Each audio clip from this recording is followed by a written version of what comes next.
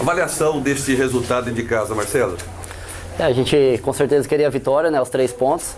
É, só que sabia que era um clássico, um jogo extremamente difícil contra o Paraná. Realmente o jogo hoje foi muita pegada. A gente criou várias oportunidades de gol. Poderia sim ter saído com um resultado positivo, mas eu vejo o jogo de hoje de uma maneira positiva. A equipe se empenhou ao máximo, foi guerreira e no final ali é, pude também ajudar a equipe de alguma forma e é isso aí. Agora contra o Tupi é Vai ser um jogo também difícil, a gente sempre espera a, a, vitória em casa. Marcelo, o sistema defensivo hoje meio que te preocupou, causou uma certa instabilidade, alguns erros individuais e também coletivos que a gente observou no jogo? Não, de maneira nenhuma. Nossa equipe, um dos pontos fortes da nossa equipe é a nossa defesa. Sempre provou isso em todas as competições. É, só que erros é natural, vai acontecer erro. É, você não vai fazer um jogo 100%. E só que é pegar esses erros agora e corrigir durante nos trabalhos da semana que antecedem o jogo do Tupi para que a gente possa ser ainda melhor na, nas próximas partidas. Ainda nessa questão de erro, queria que você descrevesse qual foi, porque falta de comunica comunicação até que houve no primeiro gol. Qual foi a falta de comunicação? O que, que houve naquele primeiro lance ali para que o Londrina tomasse aquele primeiro gol, Marcelo? Olha, realmente sim, um, houve uma, uma, falta de comunicação ali, né? É, mas só que também o gramado, vocês viram também, estava bem, tava bem ensopado ali, estava bem complicado, encharcado, né? E, e, e, atrapalhou um pouco naquele lance. Eu vejo isso também, além da, claro, da, da, falta de comunicação entre os atletas, mas realmente é igual disse, faz parte do jogo ali, ninguém quer errar, só que infelizmente os erros existem, mas é que a gente possa é, trabalhar em cima desses erros para que não volte a acontecer novamente. Marcelo, a situação de um ponto conquistado ou dois pontos perdidos hoje? em casa você tem que vencer. Eu vejo mais sim pela questão de dois pontos perdidos, né? Por se tratar de ser jogo em casa. A gente é, lutou em busca da, da, da, vitória o tempo todo. Infelizmente não veio, mas é igual, é, ergue a cabeça. No sábado já tem outro jogo extremamente difícil contra o Tupi e a gente em casa é para vencer sempre. Rangel, essa questão da iluminação, apagou, voltou, apagou de novo, voltou, isso aí, é, há algum tipo de prejuízo para você? Olha, realmente ali você faz o aquecimento e na hora da entrada já teve o primeiro apagão, isso aí atrapalha, com certeza, né? Você tá com foco pro jogo já para começar com certeza atrapalha. Aí no desenrolar do jogo tava acho que com 7 minutos, não sei, novamente. É, aí você tem que refazer o aquecimento, tá se movimentando ali para não perder, né? E só que acho que é não sei, eles vão tomar as providências aí para que isso não aconteça mais, né? Você está se especializando em fazer milagres contra o Paraná Clube. Já teve aquele jogo lá no VGD e hoje. Qual foi a defesa mais difícil de hoje? Ah, hoje eu vejo a última defesa ali no final que a bola sobrou pro acho que foi pro zagueiro deles, ele bateu de primeira no canto, uma bola forte, o molhado também, e tive a felicidade de poder ajudar. A gente trabalha isso diariamente ali e hoje fui feliz em poder ajudar o grupo a fazer a defesa no final da, da partida. Marcelo, jogando em casa vai ser sempre assim, o adversário fechadinho, acha uma bola e depois o Londrina tem que correr dobrado, abrir a sua defesa e correr risco de contra-ataque. Como é que fazer para não tomar primeiro, se possível fazer primeiro? É minimizar os erros, né? E essa, essa é a proposta sempre. A gente tem jogado com adversários aqui em Londrina é, as três partidas. Eles vêm muito fechado em busca do contra-ataque. O contra-ataque é até uma bola parada, né? Como foi contra o CRB, como foi contra o Náutico e hoje novamente. São três equipes que jogadores extremamente rápidos do meio para frente e vieram fechadinho e é em cima dessa proposta de jogo, né? Aí, igual disse, a gente tem que minimizar os erros para que a gente possa começar assim, fazer e não tomar e sair vitorioso. Cati, que avaliação que você faz desse ponto conquistado hoje diante do Paraná? Olha, a pontuação ruim, né? Porque nós precisávamos da necessidade de vencer, que é normal para pontuar, sempre para estar tá mudando o quadro na classificação e aumentar a produtividade da equipe. Né? Mais uma vez a equipe se comportou bem, foi um time aplicado, foi um time aguerrido. As substituições, na minha opinião, favoreceram que a equipe crescesse no jogo e mudasse até o rumo da direção do jogo. Então acho que nós trabalhamos bem. Agora, é, nós temos que é, é, efetivar com um resultado de vitória. Isso é importante. Então, se nós analisarmos, e o que vale nesse momento, assim, em alguns momentos, é vencer. Né? E o prejuízo maior é você sair atrás do placar, em casa, correndo atrás. Então, isso também é um prejuízo que eu já tenho falado isso para os atletas. Né? E aí, um, nem mérito do adversário, um erro grotesco nosso, mas faz parte. Não queremos que aconteça, aconteceu, mas também é, méritos tem essa defesa também pela frente. Dois apagões no mesmo jogo, você já tinha vivido isso, né, Cátia? Não, não. É, mas eu nem vou comentar porque eu vou, eu vou me isentar a respeito disso. Né? Porque eu sempre, sempre falo isso de mim. Que todas as vezes que acontece alguma coisa, ah, porque reclama demais, porque reclama do gramado, reclama disso, reclama daquilo. Então, eu estou cinco anos aqui em Londrina e cinco anos a gente só tem dificuldade para poder resgatar o, o clube né, resgatar todo o processo do clube. Então, eu não vou falar mais nada porque eu ruí o osso na Série D, ruí o osso na Série C, nos estaduais, de todo esse processo. Uma hora joga fora, uma hora joga em casa, uma hora não tem campo, uma hora tem que jogar na região. Mas ponto, não, não é. Deixa aí a direção que vai trabalhar em cima disso. O meu foco tem que ser o time. Né, e prejuízo é grande para o time, claro. Né, como no jogo, no melhor momento, Londrina começou a encurralar o Paraná você tem a paralisação do jogo. Então isso tem alguns prejuízos, como no início, como naquela interrupção. Você ficou satisfeito com a atuação do Paulinho Mocelin hoje? Ele entrou e acho que foi uma das melhores atuações dele. Entrou, entrou bem, mas ele já tinha entrado até, na minha opinião, contra o Náutico, já tinha feito uma grande partida contra o Náutico. Até contra o Joinville não teve uma atuação tão brilhante como de hoje, como do Náutico, mas ele já tinha feito essas atuações anteriormente. E é isso que a gente vem batendo para ele, né? É, as oportunidades vão aparecer, daqui a pouco a gente pode ter uma postura de mudança de sistema, né? até adotar esse 4-1-4-1 né, para ter um time já desde o início com uma postura mais ofensiva, pressionando mais o adversário. Então isso pode surgir, ele pode ressurgir do lado do jogo como dupla de ataque perto do que isso. Então é isso é tudo possível. A única coisa que eu não tenho tido é tempo para treinar, então agora esse prazo que eu teria porque é um jogo em casa de novo, então é três dias é suficiente para mim realmente analisar e ver as possibilidades de mudança ou não. A ausência você citou... Igor ah, é, te preocupa pro próximo jogo e como é que foi é, é, essa situação dele ficar fora desse jogo?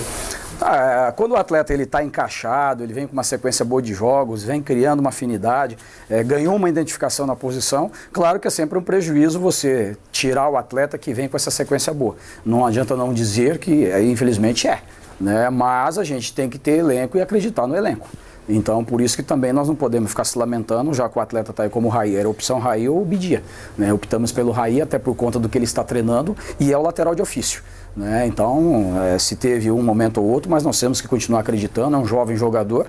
E o time que trabalha com jovens jogadores, você tem que ter esse, esse parâmetro. Né? Uma hora vai oscilar, outra hora vai encaixar e segue-se assim. Recate, quanto a saída do Jô atrapalhou o seu time? A ah, preocupa o próximo jogo, mas a gente tem três dias, quatro dias, era um desconforto, foi feito o exame, né? aparentemente não tem lesão nenhuma, né? então agora realmente é esperar o a, a estado clínico dele. O cansaço do Jô chegou a atrapalhar um pouquinho no final, até porque a movimentação dele foi boa, até e ele até conseguiu o é. pênalti, né? Sofreu o pênalti, que o Keyson poderia ter feito, enfim, mas lamentou a saída dele. Na verdade, o ideal era ter os dois até o final do jogo, né? Mas ficou nítido assim que ele já começou a parar perto do Keyson por dentro, começou a ter um cansaço, né? E, e aí até ah, o pensamento, o raciocínio nosso era de colocar um segundo atacante ali por dentro, perto do Keyson, porque a gente precisava de referência, porque eu disse pro Paulinho, você vai ter uma ou duas bolas para você fazer o cruzamento, e ela surgiu. Né? E faltou a definição, né? Mas a gente perdeu muito em função até da é aquilo que a gente, a gente pensou uma coisa, mas a execução foi menor. Em função do quê? Porque nós só ficamos dependendo do Paulinho. Então ficou inativo tanto o Léo como também o Raí. Então precisava mais ali por aquele setor direito e esquerdo para a gente agredir mais, sair mais cruzamentos, porque aí o Bruno Batata e o Queiroz teriam mais volume de bolas cruzadas ali e que poderia surgir a situação de gol. Né? Então faltou um pouco mais da execução. Mas eu acho que no geral assim foi bem. É, e como a gente falou, né? Cria-se já uma, uma identidade que pode jogar os dois juntos aí por uma sequência. Decati, na formação tática da equipe, recentemente você falou que o, o individual conta muito, né? Você precisa claro. de jogador individual. E hoje, dois lances que eu gostaria que você fizesse a leitura. Primeiro, o, o lance do Raí no gol do Paraná, né? Ali na indecisão. E também o lance do Queijo no pênalti que acabou com o goleiro pegando. Ah, é uma coisa que no futebol é difícil você ficar apontando o jogador, né? É, a gente tem que dar crédito ao Kenzo, quem vem fazendo os gols, no entanto que teve personalidade para se manter e eu tive convicção de mantê-lo. Né? Poderia até, por exemplo, ah, já ficou, perdeu o pênalti, está sendo emocional caiu, né? Vamos mudar, não. É aí que você tem que confiar no faro do atacante. Tanto que eu gritei para ele, no meu lerga a cabeça, você vai ter mais uma ou duas chances. E na, nessa primeira ele já colocou na, na rede. Então aí é o feeling do jogador e o faro do treinador também. Né? Então quanto ao Raí, não é ele o culpado, é, é o sistema. Né? Então o sistema defensivo que se posicionou mal, faltou é, é, conversa, orientação, um posicionamento né, melhor adequado para que não surgisse isso. Como surgiu na reta final aqui. O Paraná também teve duas chances, acho que se eu não me engano três, até no finalzinho, mas por quê? Mal posicionado por falta simplesmente de orientar o companheiro, de fechar um espaço aqui, de estar bem posicionado ali, para que não tenha essas possibilidades, porque jogar em casa vai ter muitos contra-ataques, como foi nós lá contra o Joinville, né? Nós tivemos essas duas bolas no finalzinho do jogo para matar o Joinville. Então, essa vai ser uma, uma, uma tônica no campeonato da Série B, como é muito disputado. Os adversários sempre terão chance na casa do adversário, eh, na, na, na casa é, é, na, como visitante, porque o time vai estar mais exposto, como nós tivemos que se expor, você tem que se atirar mais, então começa a sobrar mais espaço. E o Paraná tem vários jogadores qualificados na frente que dificultou muito para nós. Avaliação dos três meias, tem Cate Gava, Zé Rafael e o Netinho que entrou depois. Ah, eu acredito que todos atuaram bem, só está evidente ainda que dá para perceber, o Neto ainda falta né, a dinâmica de jogo, o ritmo de jogo, tanto que ele é, é, duro quando o jogador entra e entra nessa condição, porque afoga, porque o ritmo estava muito intenso, né? Porque o Paraná tem essa característica também, o Paraná não é um time que se omite, então recupera da velocidade, é, Lúcio Flávio incomoda muito na frente, né? o camisa 11 mesmo incomodou demais, então aí o individual ele provoca todo esse estado de bola lá, bola cá, bola lá, bola cá. E o Paraná teve essa, essa virtude também. Então por isso que o jogo ficou muito intenso, ficou lá e cá. Né? Então, é, é mais no, no, geral, gostei do Zé Rafael, principalmente depois que a gente passou de jogar no 4-1-4-1. Né? Gava, um excelente passo no início pro Paulinho ali. E é isso que a gente fala, né? Com dois minutos de jogo, Paulinho faz o gol ali, você muda o quadro. Aí eu tenho o Jô e o Paulinho aceso, e o Paulinho, o estado emocional dele forte, porque ele acabou de fazer um gol, né? E o time aí ia pressionar o Paraná constantemente. Então a gente teria energia mais cedo para pressionar o Paraná. Então quando o gol já saiu mais tarde, você já estava mais desgastado, mais cansado, e a gente perdeu essa, essa identidade da velocidade. Forçosamente o Gava teve que recuar um pouquinho depois que você teve que sacar o Diogo Roque. Já dá para pensar nessa questão para começar um jogo, já que o Gava desempenhou essa função em outras partidas forçosamente? Sim, e, e esse é um desenho é, de uma forma de jogar né, que com você tem a bola, você tem uma formação dos laterais, né, saindo até um pouquinho mais na linha do Germano e desses dois meias, né, aí o Germano centralizando um pouquinho mais e o Gava e o Zé Rafael fazendo esse posicionamento por dentro para aproximar na saída de bola. Então aí eles têm qualidade no passe, têm boa movimentação e abastece. Nós temos jogada forte pelos lados, vai ter a jogada por dentro, você então ganha mais qualidade em todos os setores.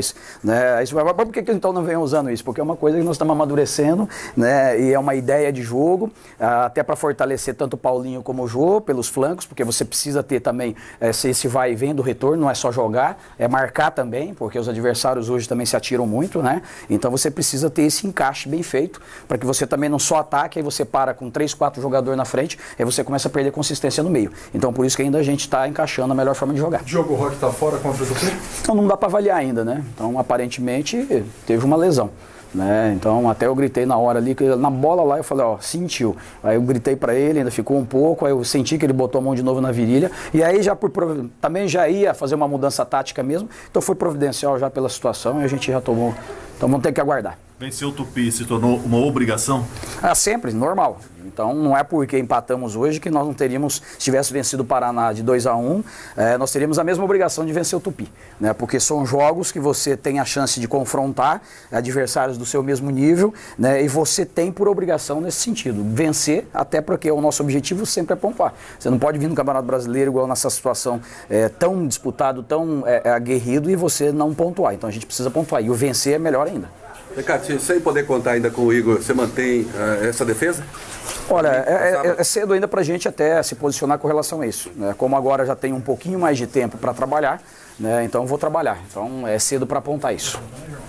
Esse empate, qual a avaliação do capitão do Londrina sobre esse resultado hoje? Uh, em termos de, de, de resultado, uh, sem dúvida nenhuma, nós esperamos né, um melhor resultado do que foi né, um empate. Uh, mas diante das circunstâncias que foi o jogo, acredito que foi um jogo intenso. Acho que, por mais no início da partida que nós acabamos saindo atrás do resultado, a equipe ainda teve é, teve a postura ainda de, de, de jogar, de, de, criar oportunidades e foi isso que acabou acontecendo no restante do, do jogo. Né? Com, aconteceu o um empate ainda com possibilidades até de poder virar o jogo. Germano, a iluminação, os, os dois apagões trouxeram algum prejuízo? Ah, na verdade você acaba tendo um aquecimento, ah, você entra já pronto para o jogo, de repente você inicia o jogo, dá uma parada sem dúvida nenhuma, acaba interferindo nesse, nesse aquecimento, nessa, nessa preparação, ah, mas eu acho que são circunstâncias que acabam acontecendo que nós não podemos colocar culpa nessa iluminação, o fato do resultado ter acontecido dessa forma, mas a, acaba interferindo, sim. Se falar que não, eu estaria, né? Mas é, é, é, acaba interferindo no aquecimento, no início do jogo. Eu acho que para todas as equipes que acabam né, entrando na partida e acabam influenciando, sim. Coçou o pé esquerdo para bater o pênalti? Não, acho que está bem uh, determinado a função do Keyson de bater o pênalti. É, caso ele não, não batesse ou qualquer outra circunstância, são vários atletas que têm um uh, que tem um bom rendimento, alto nível de rendimento para bater as cobranças de pênalti, assim como Gava, como Batata, uh, Zé Rafael. Então ali é o momento do jogo, uh, ele pediu a bola para bater e a confiança estava nele e sempre vai estar. Novamente, tiver a oportunidade, ele quiser bater, vai bater, sem dúvida nenhuma, que tem, tem um aval de toda, toda a equipe, de todos os atletas. O lance do gol do Paraná, o que, que dá para dizer, Germano? Ah, foi uma infelicidade que acabou acontecendo, uh, não podemos colocar né, a culpa, uh, acabamos errando, uh, nós não somos perfeitos, somos passivos de erro. É isso que eu falei, eu acho que por mais de tudo que acabou acontecendo naquele lance, de ter tomado o gol, as circunstâncias de você precisar vencer em casa, em momento algum acho que a equipe se abalou, nem se abateu por fato de ter é, saído atrás do placar. Né? Tivemos uma consistência tática, tivemos uma persistência em busca do gol, criamos várias oportunidades já no primeiro tempo a, a, bola na trave e eu acho que o nosso jogo estava bem desenhado, bem, bem, bem equilibrado nesse sentido. É lógico que você já iniciando o jogo, precisar vencer em casa e de repente você sair atrás, sem dúvida nenhuma, é, é, é um esforço a mais. Mas eu acho que essa equipe está preparada para ter esse esforço, para tá, dar essa dedicação e foi isso que acabou acontecendo. É, logo depois do empate nós criamos inúmeras oportunidades até para virar. São circunstâncias que vão acabar acontecendo, já disse isso, por mais que nós estamos jogando em casa, é, nós vamos encontrar equipes muito difíceis, é, jogos é, que são decididos num detalhe e foi o que acabou acontecendo. Então nós temos que levantar a cabeça. É, em termos de resultado, né, em busca dos três pontos, se a gente for falar uma análise disso tudo, sem dúvida nenhuma não foi bom, mas sempre é bom pontuar. Eu acho que nesse Campeonato Brasileiro, como é tão difícil, é, várias equipes também é, deixando de pontuar em casa e fora. Então acho que essa sequência de pontuação é, só vamos dar valor lá na frente, é, no, no, final da competição, porque é no final da competição que você valoriza pelo menos um ponto. Então, mas eu acho que é muito cedo para poder falar isso, mas eu acho que num jogo no, no, próximo final de semana, no sábado contra o Tupi, nós vamos ter que se prevalecer o jogo do mando de casa e prevalecer os três pontos, sem dúvida nenhuma. Depois do, do empate, o Paraná veio para cima, o Londrina estava com poucos jogadores no meio campo ali. Dá para dizer que o resultado foi justo, Giovanni? É, olha, é natural é, numa equipe como a nossa, jogando dentro de casa, precisando vencer, para você é, crescer na tabela, crescer na competição é natural você é, é, é, ir para cima do adversário e é natural você às vezes correr risco. Foi o que acabou acontecendo. Corremos risco é, no, no, momento que, que, que, nós tínhamos um, um, um, bom nível de futebol, acho que um bom ritmo, né, logo depois do jogo, e é natural você, precisando de obter o resultado dentro de casa, correr alguns riscos. Acho que os riscos foram calculados né, e não, por via das dúvidas não acabamos não tomando gol. Então acho que é, é, é, esse risco é controlado, principalmente jogando dentro de casa, que é o que vai acabar acontecendo nos próximos jogos também. E o Tupi agora no sábado? Ah, é um adversário que nós já enfrentamos muitas vezes no ano passado né, apesar de uma reformulação que teve na equipe deles também. É, é, como eu disse, não tem jogo fácil. Não adianta a gente ficar aqui acreditando que um jogo vai ser fácil, o outro jogo não vai. Então, o nível da competição da Série B está um nível muito alto, tanto jogando em casa como jogando fora. São jogos difíceis. É, nós temos que nos recuperar agora, nos concentrar, manter o nosso foco. É, para que esse, é, esse, resultado acabe acontecendo. Eu acho que, sem dúvida nenhuma, esse resultado a gente vai ter que buscar os três pontos nesse final de semana logo contra o Tupi.